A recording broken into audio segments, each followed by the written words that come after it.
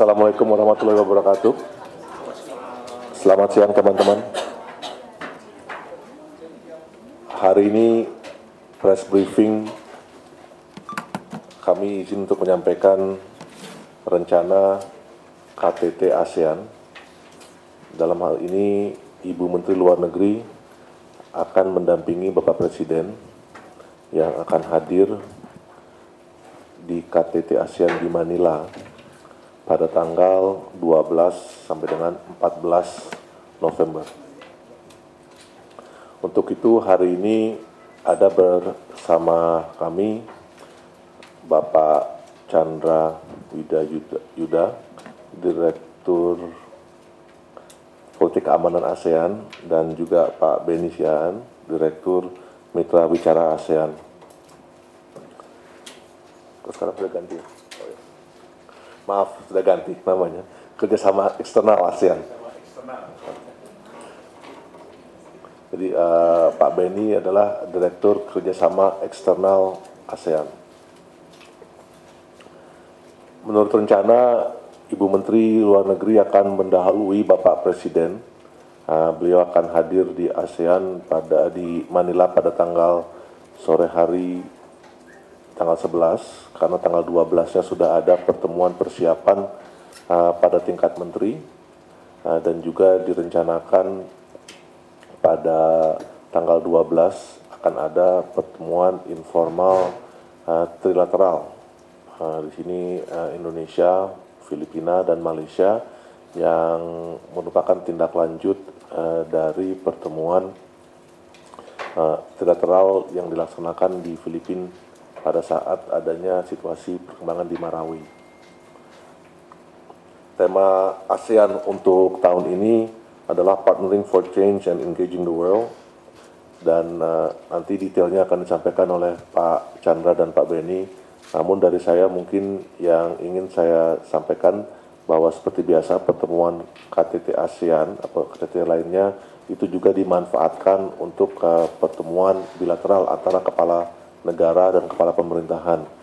Dalam kesempatan ini, uh, saat ini kita sedang menjadwalkan uh, beberapa pertemuan bilateral uh, Bapak Presiden, antara lain dengan PMAB, dengan Sekjen PBB, dan juga dengan PM Selandia Baru.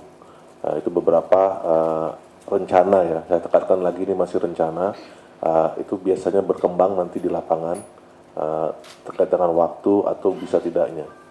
Itu mungkin uh, untuk uh, detail mengenai kegiatan yang akan dilaksanakan Bapak Presiden dan isu-isu yang akan menjadi perhatian Indonesia di dalam KTT ASEAN kali ini, kami mohon kesediaan Pak Chandra mungkin terlebih dahulu untuk menyampaikan uh, rencana kegiatan Bapak Presiden di ASEAN KTT ASEAN nantinya. Silakan Pak. Terima kasih Pak Tata. Assalamualaikum warahmatullahi wabarakatuh. Selamat pagi, rekan-rekan. Terima kasih uh, telah datang kesempatan bagi kita untuk menyampaikan beberapa hal. Uh, tadi sudah sampaikan oleh Pak Tata bahwa rangkaian KTT ASEAN dan KTT terkait lainnya akan dimulai uh, tanggal 12 sebenarnya sudah ada uh, gala dinner uh, apa uh, celebration untuk 50 tahun ASEAN.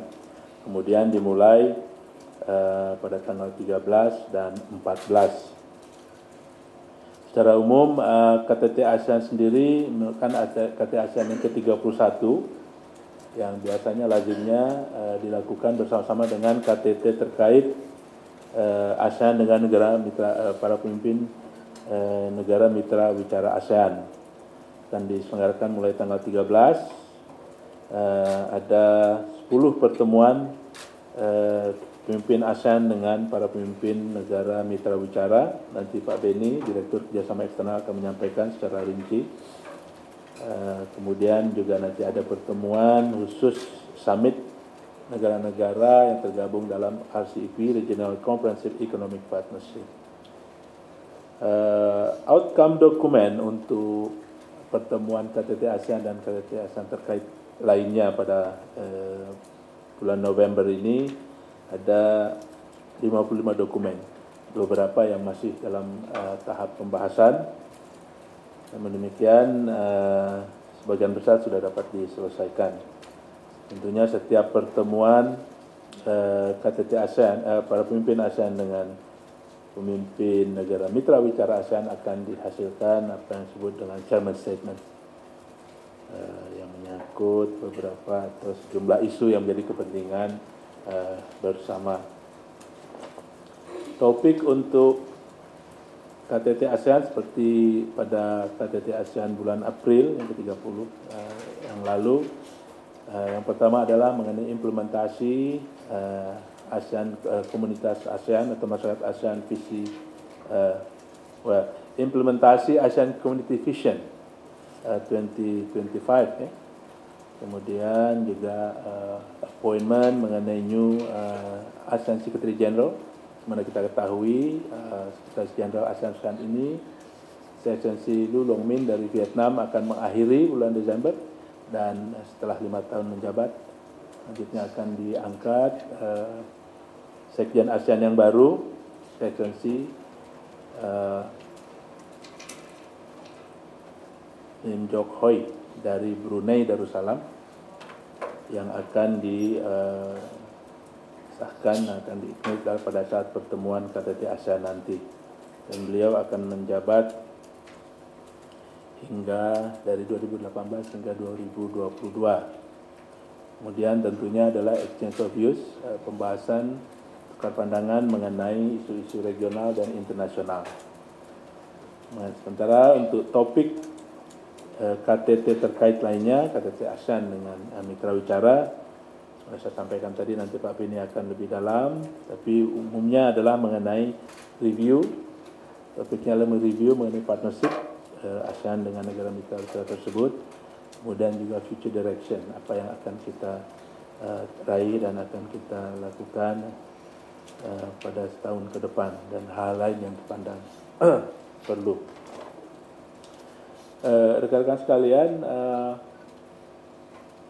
pada tahun ini saya kira sesuai dengan uh, kebijakan kita di uh, polisi kita mengenai ASEAN, maka implementasi dan konsolidasi proses ASEAN Community Building akan menjadi hirauan utama dan kira Bapak Presiden juga akan memberikan uh, Ibu Menteri Luar Negeri juga akan menekankan uh, uh, hal sepenting ini di dalam pertemuan rangkaian pertemuan ASEAN tersebut dan juga bagaimana mewujudkan ASEAN yang berbasis aturan rules based national rules based uh, rules based ASEAN community yang berorientasi dan berpusat pada masyarakat uh, people and oriented people centered and people oriented ASEAN. Nah selain itu juga adalah uh, bagaimana Indonesia terus mendorong dan mengkonsolidasikan upaya untuk memelihara perdamaian, securing peace, ya, dan keamanan serta mewujudkan kemakmuran dan kesejahteraan. Dan kita selalu menekankan untuk itu diperlukan satu uh, apa, uh, ASEAN Unity, uh, ASEAN Centrality, ASEAN Unity uh, uh, iski, apa, uh, penting dalam hal ini. Tentunya juga bagaimana mendorong dan membuat ASEAN agar tetap responsif dan relevan. An ASEAN community that is responsive and relevant yeah, or fit to the challenges and opportunities of the 21st century 21. Kita akan dorong dan itu akan dilakukan berbagai pemenahan hingga working methodnya dan juga uh, mekanisme implementasi juga dapat dilakukan. Uh, Secara garis besar, uh, KTT ASEAN akan lebih kurang seperti itu dan uh, ada beberapa forum yang dapat digunakan oleh pemimpin oleh presiden kita juga menteri luar negeri untuk mendorong hal-hal yang tadi kami sampaikan. Barangkali pengantar dari kami, berikan Pak Tata. Terima kasih Pak Tata. Selamat pagi teman-teman wartawan. Uh, izinkan saya menambahkan apa yang disampaikan oleh Pak Tata dan uh, Pak Chandra uh, terkait uh, kerja apa uh, isu yang kami tangani seperti dari Pak Chandra bilang uh, akan ada sekitar 10 pertemuan terkait dengan negara mitra. Ya, itu dimulai pada tanggal 13 dan 14 November. Pertama adalah pertemuan dengan uh, Amerika Serikat, RRT, uh, Republik Korea, Jepang, dan PBB. Sementara tanggal 14-nya itu uh, ASEAN dengan ASEAN Plus 3, uh, terus dengan ASEAN Kanada, ASEAN Uni Eropa, East Asia Summit, dan ASEAN India. Uh, sementara ini topik-topik indikasi baru indikasi ya yang akan kita angkat dalam uh, pertemuan tersebut dengan negara mitra adalah dalam bidang politik keamanan kita akan angkat isu Laut Cina Selatan, Semenanjung Korea, penanggulangan terorisme, perdagangan obat terlarang dan isu Palestina.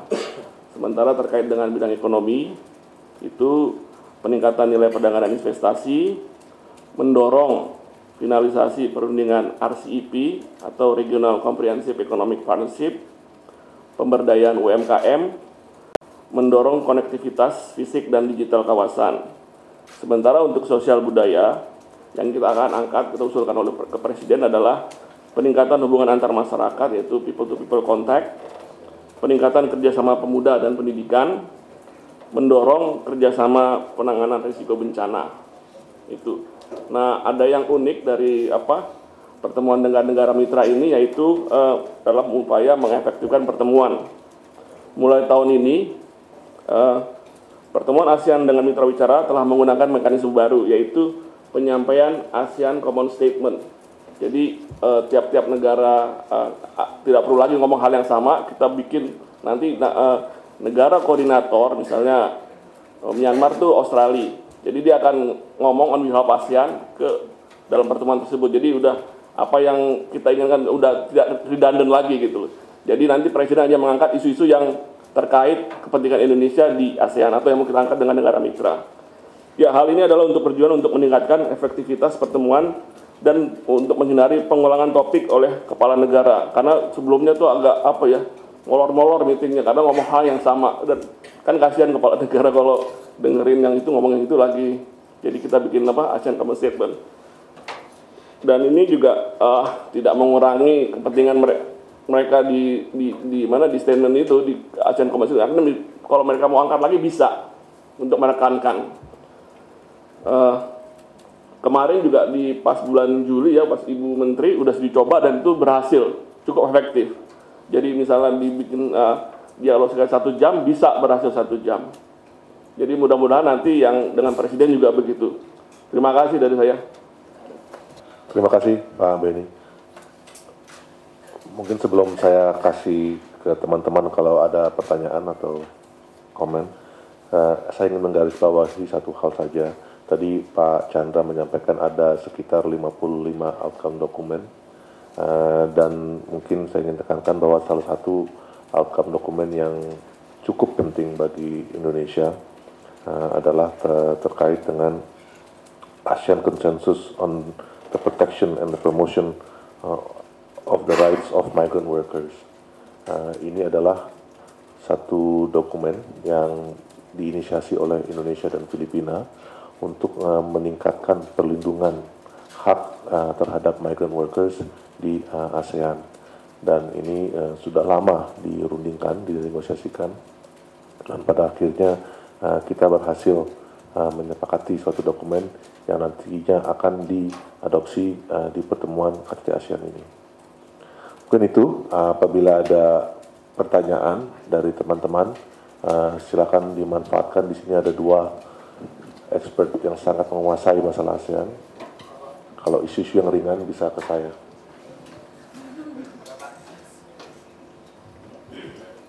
Ya, Pak Tata Geri dari Kumparan. Pak, Pak mau nanya Pak, apa isu Rohingya akan dibahas secara khusus entah itu di forum summit atau di EAS atau di mitra atau dengan mitra bicara lain? Itu terima kasih Pak. Dan apa akan ada mungkin outcome dokumen soal uh, permasalahan Rohingya ini? Terima kasih Pak. Terima kasih. Uh, jadi disampaikan tadi uh, dalam pertemuan di KTT ASEAN akan ada topik atau agenda mengenai exchange of views and regional international issues. Uh, saya kira ini telah menjadi satu uh, persoalan yang menjadi perhatian bersama dan saya kira kita akan mendorong dengan uh, pendekatan kita yang konstruktif, konstruktif uh, approach kita. Sebenarnya diketahui Bu Menlu sudah menyampaikan untuk uh, membantu penanganan persoalan ini dengan apa yang disebut 4 plus 1, formula 4 plus 1. Saya kira sudah perlu saya jelaskan lebih lanjut. Tetapi tentu ini kita uh, akan gunakan forum ini dalam konteks uh, di samping kita memahami kompleksitas dan sensitivitas dari isu tersebut, kita akan mendorong pelaksanaan komitmen yang telah dibuat oleh pemerintah uh, Myanmar. Saya kira konteksnya adalah kita membantu sebagai sesama negara anggota ASEAN uh, yang tengah memerlukan uh, uh, bantuan. Sebenarnya diketahui bahkan untuk bantuan kemanusiaan AHA Center, ya, ASEAN Connecting uh, Center for Humanitarian uh, apa, uh, System itu sudah ada di uh, Myanmar dan telah melakukan beberapa kegiatan. Nah, kita dorong agar uh, terus uh, bantuan kemanusiaan dapat uh, berlanjut sementara juga isu lain dapat ditangani. Saya kira itu akan ya akan mendapat uh, perhatian dan uh, kita posisi kita uh, kebijakan kita sudah jelas untuk mendorong agar komitmen tersebut dapat dilaksanakan. Ya. Febri, de, Febri dari majalah Gatra uh, terkait dengan akan adanya pertemuan informal antara Indonesia, Filipina, Malaysia di mengenai tindak lanjut pertemuan trilateral sebelumnya, apa yang akan mau dibahas lebih lanjut, Pak Tata? Terima kasih uh, Mbak Febri. Uh, ini kan merupakan pertemuan informal yang singkat ya. Mungkin uh, dalam hal ini salah satu tujuan pertama pertemuan trilateral di Filipina adalah untuk membahas masalah situasi di Marawi. Dan seperti kita ketahui bahwa dalam beberapa minggu terakhir ada perkembangan di Marawi yang positif. Yang pertama mungkin di sini tentunya Filipina akan menyampaikan uh, laporan mengenai apa yang telah terjadi di lapangan. Uh, dan yang kedua, tentunya uh, dalam pertemuan sebelumnya ada beberapa uh, rencana aksi yang kita telah uh, sepakati untuk dilakukan dan beberapa rencana aksi tersebut uh, terkait dengan upaya untuk membangun uh, kembali apa next step setelah uh, Marawi situasi di Marawi sudah uh, kondusif. Nah, mungkin di sini yang beberapa isu yang akan menjadi perhatian seperti hal seperti itu. Uh, hi, Pak. Um, just wondering if you could give some information on North, on, on the talks with Korea that I, I realise the president's not meeting um, till this afternoon, but have there been any um, foreign ministry discussions um, about North Korea with the South Koreans? And um, are you able to give any kind of indication about what discussions will take place this afternoon? Yeah. Well, I don't have a crystal ball, so I don't know what exactly the president is going to speak with President Moon. Uh, but of course, uh, the issue of the Korean Peninsula uh, is a concern for all of us in the region. So I'm sure that that will be an issue that will be raised uh, by both presidents. Uh, to exactly what is going to be discussed, uh, we can't uh, tell until it's, it's has taken place this afternoon. But, uh, has there been any foreign minister, has been, has the foreign minister been in her own discussions at all on the sidelines of this visit? Um, well, when I think the last meeting uh, between uh, Minister Retno and the Korean uh, foreign minister was in uh, Manila uh, a few months back.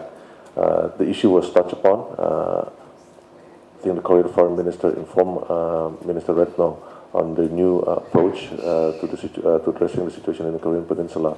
Again, this, the issue of the Korean Peninsula is an issue that is of concern of the region. So it is always discussed, uh, and I'm sure it will be the, one of the topics they will be discussed in ASEAN, uh, EAS, for example, or the uh, IRF meeting. So it is a, it's, we, have, we look at it uh, from the context of a, an, a situation for the region.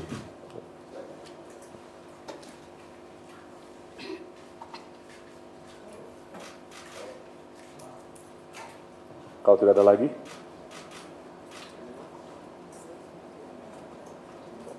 Oke, ini kayaknya memecahkan rekor tercepat. Wah, daripada nggak ada lagi. Kristi Pak dari Suara Pembaruan. Pak masih soal yang trilateral tadi Pak. Pak sejauh mana sih Pak ini uh, efektif karena mengingat apakah ini memang hanya uh, apa namanya kayak kesepakatan di tingkat elit aja karena melihat kemarin situasi ketika kita dapat kabar soal uh, adanya WNI yang uh, tewas di sana dua kali ya Pak ya yang Ilham dan yang terakhir yang istri dari Maute itu kan kita lama sekali dapat uh, notifikasi ke konsulerannya gitu Pak. Itu apakah memang ini juga kesepakatan ini sebenarnya juga menyentuh di militer atau kepolisian? Gitu. Terus yang kedua uh, mungkin update terkait yang dua WNI tadi Pak. Apakah sudah terkonfirmasi statusnya dan bagaimana kondisinya dan seperti apa nanti ke depannya? Makasih. Uh, terima kasih Kristi. Uh, ini pertama bahwa kalau dibilang bahwa ini hanya pertemuan tingkat elit itu tidak tidak tepat ya uh, karena kerjasama uh, di tingkat uh, militer itu kan juga sudah ada. Dan uh, pertemuan ini juga hanya memang yang informal ini nanti mungkin hanya Menlu. Tapi pertemuan terdapat sendiri itu kan diikuti baik oleh uh, Panglima baik oleh pihak kepolisian maupun intelligence uh, ketiga negara.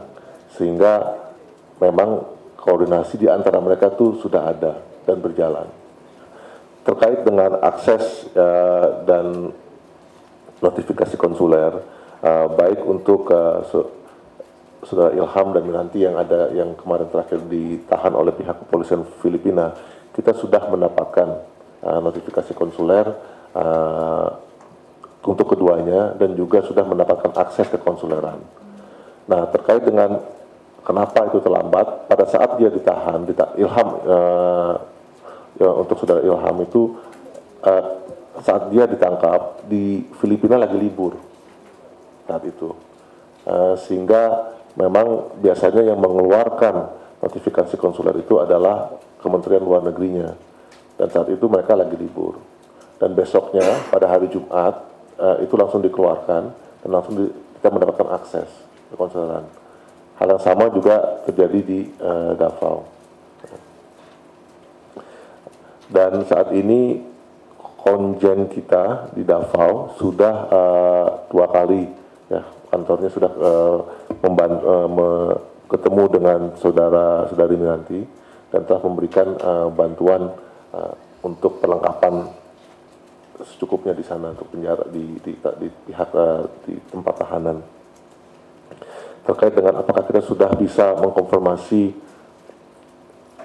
status WNI-nya uh, dari sa sampai saat ini sudah, tapi sedang kita melakukan investigasi lebih dalam. Dalam arti sudah mendapatkan informasi awal, uh, Saudara Ilham sudah menyampaikan bahwa dia berasal dari Medan, nama-nama keluarga uh, temannya sudah disebutkan dan tentunya kita polisi akan mendalami informasi tersebut. Uh, dari segi aspek uh, kita juga melakukan uh, facial dan uh, sidik jari recognition itu juga kita sedang mendalami dengan data kita yang ada. Uh, dan sebagai informasi juga pihak uh, kepolisian kita sudah berada di Filipina untuk membantu proses investigasi. Akbar dari Petanam, terakhir kabar kan ada yang soal uh, WNI yang Hati Madras, itu uh, dari tim KJRI di Davao sudah memberikan uh, penandatanganan surat waiver dan pembentukan surat counter affidavit yang diberikan 10 hari. Uh, itu tanggapan Kemlu sendiri formalnya gimana Pak? Terus terkait anak-anaknya Minhati juga, kan uh, bapaknya Filipina, ibunya Indonesia, terus ada status dui keluarga negaraan itu kan. Itu nanti uh, pemerintah Indonesia sendiri akan ambil sikap gimana Pak terkait anak-anaknya Minhati itu sendiri. Terima kasih Pak. Seperti tadi saya sampaikan bahwa pada tahap awal uh, kita harus mengkonfirmasi status keluarga negaraannya ini uh, menantinya sendiri itu. Jadi uh, saat ini kita masih dalam proses mendalami mengkonfirmasi mengkonfirmasi status keluarga negaraannya. Uh, jadi nanti tentunya kita akan lihat ke depannya bagaimana kita mengatasi aspek-aspek lainnya setelah kita bisa mengkonfirmasi. Uh, terakhir saya komunikasi dengan Pak Konjen bahwa sampai saat ini eh, tahap pertama sudah, tapi kita masih mendalami status kewarganegaraan, status kewarganegaraan ini. Pak, yang polisi yang ke itu densus ya Pak? Ada yang Polis officer liaisonnya itu Pak dari KJRI Davao itu sama juga? Apa gimana?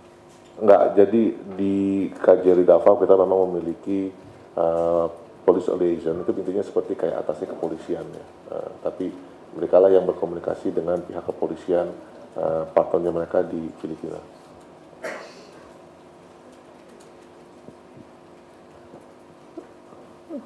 Pak Beni, uh, saya Rika dari Mina. Tadi sedikit Bapak menyinggung tentang indikasi nanti akan dibahas tentang Palestina di KTT.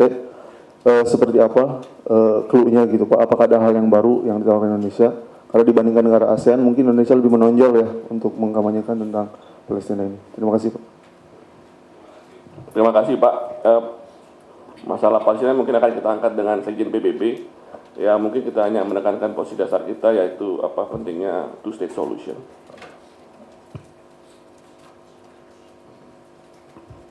Oke? Okay? Oh, uh, Pak Rahman dari Okizon. Uh, tentang situasi di Timur Tengah, kita tahu kemarin Lebanon lagi panas karena ada beberapa uh, situasi politik di sana. Apakah ada peringatan dari KBRI di Lebanon tentang situasi ini? Dan bagaimana pandangan Indonesia soal situasi di sana? Terima kasih. Uh, terima kasih. Uh, tentunya kita terus mengikuti perkembangan situasi di kawasan Timur Tengah ya. Uh, kita juga prihatin dengan berbagai perkembangan yang terjadi dalam beberapa hari terakhir. Setiap kali ada situasi yang kita perkirakan dapat uh, membahayakan uh, WNI yang ada di sana, uh, biasanya itu sudah menjadi SOP uh, untuk KBRI uh, menyampaikan himbauan kepada seluruh uh, masyarakat yang ada di sana dan sekitarnya dan juga untuk membuka hotline-nya, mengingatkan kembali hotline-nya. Dan apabila mereka ini kita membutuhkan bantuan tentunya uh, KBRI akan selalu terbuka uh, baik itu ke apakah itu bantuan untuk uh, melakukan untuk dievakuasi atau dan lain, lain sebagainya. Jadi itu yang yang sudah menjadi SOP dari uh, semua perwakilan kita, utamanya yang ada di uh, Timur Tengah.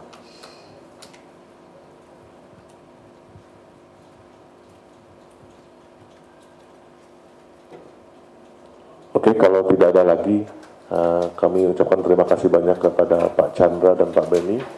Uh, sampai kita ketemu lagi teman-teman uh, di press briefing minggu depan.